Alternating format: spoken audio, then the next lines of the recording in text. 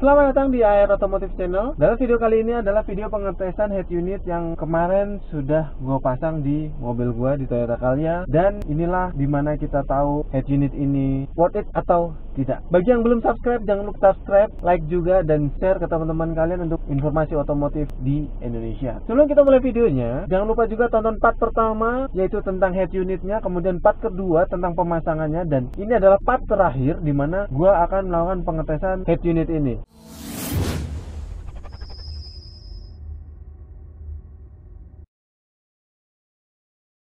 Head unit ini sebenarnya dengan harga yang jauh banget dari 1 juta masih di bawahnya namun memiliki spek yang lumayan tinggi. Sebelumnya uh, gue mohon maaf dulu karena videonya kurang kekurangan cahaya. Dan ini juga ada di garasi. Cahayanya mungkin kurang namun it's okay lah. Seenggaknya kalian semua sudah terinformasi. Mungkin dari kamera gue juga yang memang kurang. Oke. Okay. yang pertama kita lakukan untuk ini adalah kita nyalakan dulu. Di sini ada tombol power kemudian tombol volume dan ada tombol minus terus di sini tuh ada tempat micro SD dan aux kemudian USB untuk penyambungan ke handphone dan mirror linknya sebelum kita tes ini kita langsung aja tes untuk head unit ini. Di menu utama di tampilan head unit ini itu di baris atas itu ada home ada volume terus ada jam terus ada equalizer kemudian ini cahaya head unit. Ini malam ini mati dan ini siang. Kemudian ada koneksi bluetooth sudah terkoneksi atau belum kemudian home. Dan ini yang gua rasa akan nantinya useless karena ada home di layar dan ada home di tombol. Seharusnya salah satu aja namun mungkin ini memudahkan jika memang salah satunya ada yang error atau layarnya yang error atau tombolnya yang error. Di bawahnya itu ada beberapa menu, ada 10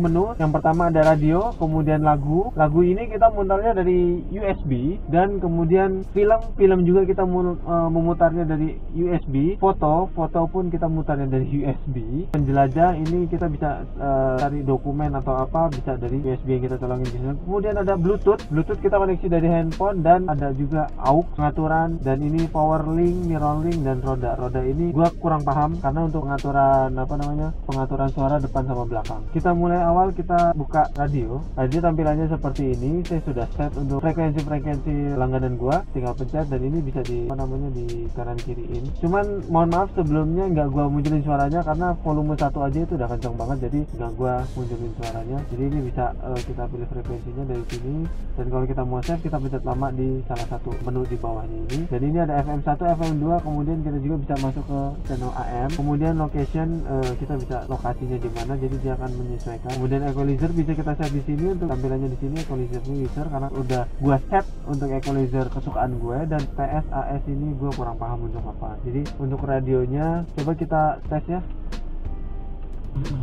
Volume 1 itu udah kenceng banget. Volume 1 aja kayak gini gimana kalau kita tambahin volumenya lebih dari satu ini volumenya baru satu kita matiin lagi. Tampilan radionya simple tapi ini udah cukup menurut gua untuk tampilan radionya. Kita balik ke home kita ke lagu karena ini belum gua masukin USB jadi dia tidak akan membaca. Film pun sama nodis foto pun sama penjelajah pun sama dia akan nodis kita langsung aja ke bluetooth. Tampilannya akan seperti ini. Dia akan tampil tombol-tombol angka untuk telepon dan segala macam. Kita bisa langsung dari sini dan saat kita koneksikan bluetooth ke head unit ini dia akan langsung muncul nama handphone kita di atas sini. Dan kalau misalnya ada panggilan masuk akan ada notifikasi ke head unit ini ini dari sisi bluetooth kemudian dari aux. Aux sama dia tampilannya cuma begini doang. Gak ada apa-apanya. Ya tinggal kita sebenarnya nyambungin suara aja sih ke sini. Dan untuk saat ini gua rasa udah jarang banget yang pakai aux karena udah ada connection bluetooth yang nirkabel sehingga orang-orang akan lebih cenderung memakai bluetooth dan aux. Seharusnya ini bisa. Kita ke pengaturan. Pengaturannya ini sayangnya tidak didukung untuk edit nama device. Jadi agak kesulitan. Yang di sini tertera adalah limit ini gue yang agak bingung limit itu buat apa mungkin ya yang bilingual mungkin buat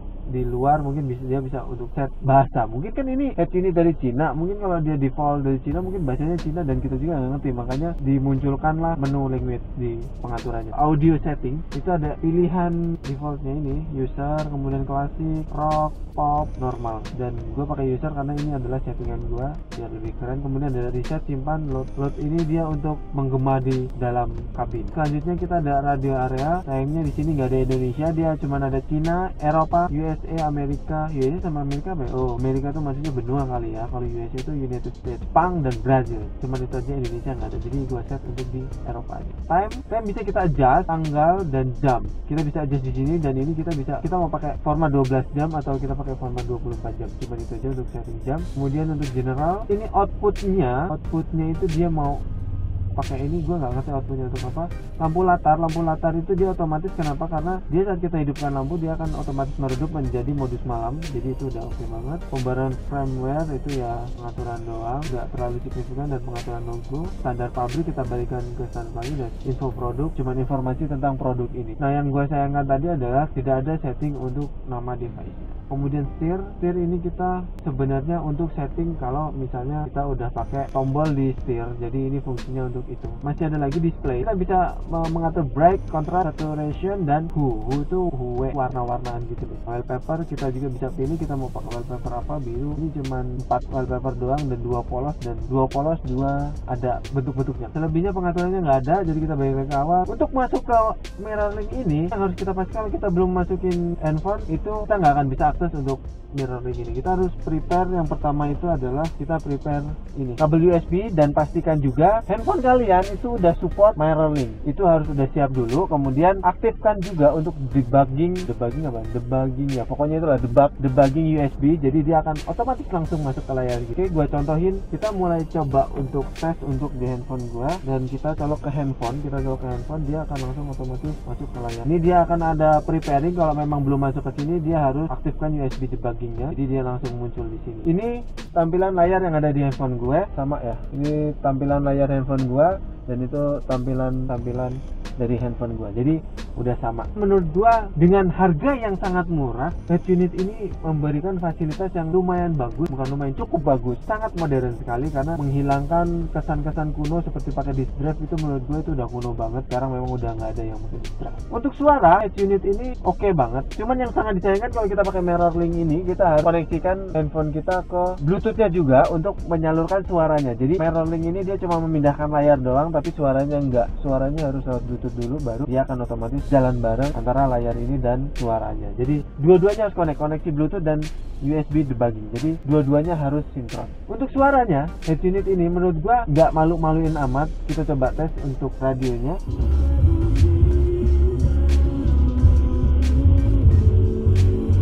Bassnya dapet, treble-nya dapet dan nggak malu-maluin banget lah. Walaupun kita nggak ada twitternya tapi ini suaranya udah oke. okay. Ini mungkin karena settingan gue sendiri jadi settingan udah gue setting yang paling oke okay untuk di dalam mobil. Walaupun mobil ini tergolong mobil LCGC mobil murah head unit ini tergolong head unit murah tapi nggak malu-maluin lah saat kita bawa teman-teman atau saat kita mendengarkan musik tuh nggak nggak jelek-jelek amat. Jadi ya terkesan agak mewah dikit. Setelah dari pemasangan head unit ini gue butuh saran dari teman-teman gue harus pasang ampli dan speaker dulu untuk menambah daya suara head unit ini biar makin bagus atau pasang peredam dan kamera mundur dulu. Mohon komen di kolom komentar saran kalian apa dan makasih yang udah nonton video ini. Sampai ketemu di video selanjutnya. Salam otomotif